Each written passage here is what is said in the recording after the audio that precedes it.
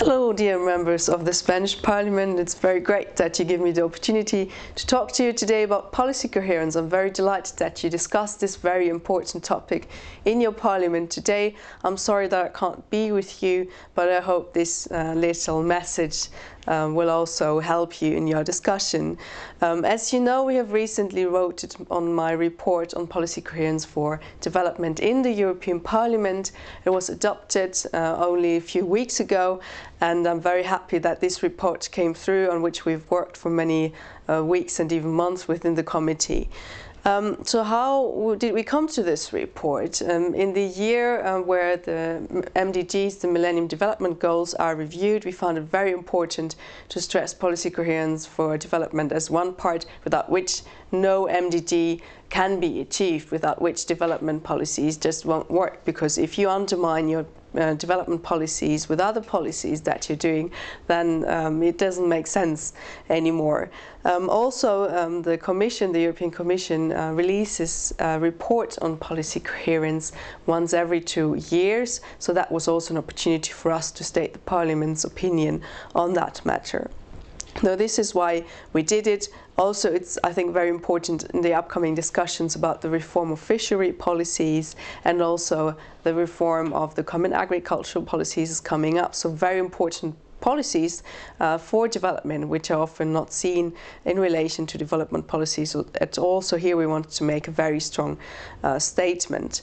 Um, yeah, and we saw a lot of problems still in the European policies, for example, in the agricultural policies, where we have a lot of subsidies for European agricultural products, um, even though the export subsidies have been diminishing in the last years. There are still some and others which are not called export subsidies, but actually they are lowering, lowering the prices um, of European agricultural products um, in um, other countries outside the European Union. And then they might destroy destroy local markets, which is not helpful if we're trying to uh, give money to local farmers in Cameroon, for example, but at the same time, we're destroying their local markets with dumping priced products from the EU that are leftovers here, then that doesn't make a good impact at all. Another area is the fishery policies um, where we have the situation that EU um, fish trailers are emptying the seas, for example, in front of the West African coast, where fishers don't have any income anymore because they can't um, they can't get enough fish anymore, and so also the, um, the fishing, the processing um, factories um, that are living on working on the fish uh, fished in that areas are not sustained anymore. So here we also are trying to uh, protect and support local fishermen and fisherwomen, but at, this, the, at the same time, we're taking away the basis of their um, of their income. So that doesn't make sense. Here we're giving money with the one hand, but we're taking it out with the other hand. Also, uh, we're giving money to developing countries, but at the same time, we're not doing anything against tax havens where a lot of money flows out um, of developing countries into these tax havens. And without proper tax, gov tax governance working together also with developing countries, uh, we won't see a lot of improvement in that area. So there's numerous um, examples of incoherences of EU policies uh, where EU policies are actually undermining our development aim, which is stated as being the eradication of poverty. And towards eradication of poverty, all EU foreign policies should work. That's what Article 208 of the Lisbon Treaty says. So we're determined to keep us on track. But it's not easy because, of course, um, the interests of European fish industries or uh, farmers, etc., are also being voiced very strongly and often much stronger than development interests.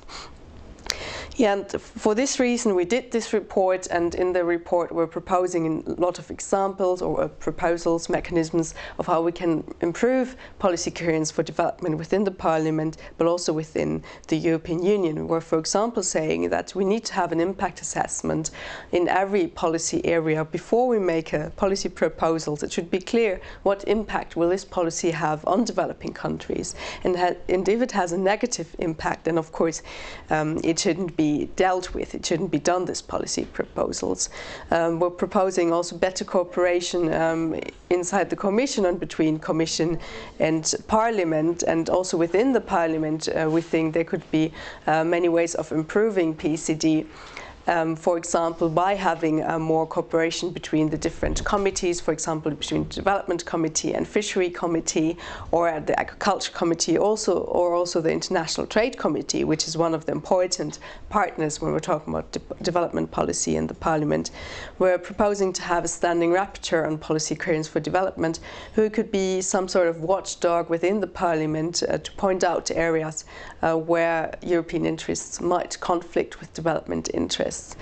Um, we're also proposing to have a biannual report on policy coherence for development to keep up the pressure to evaluate what progress has been made and where are there still um, failures on the way to policy coherence.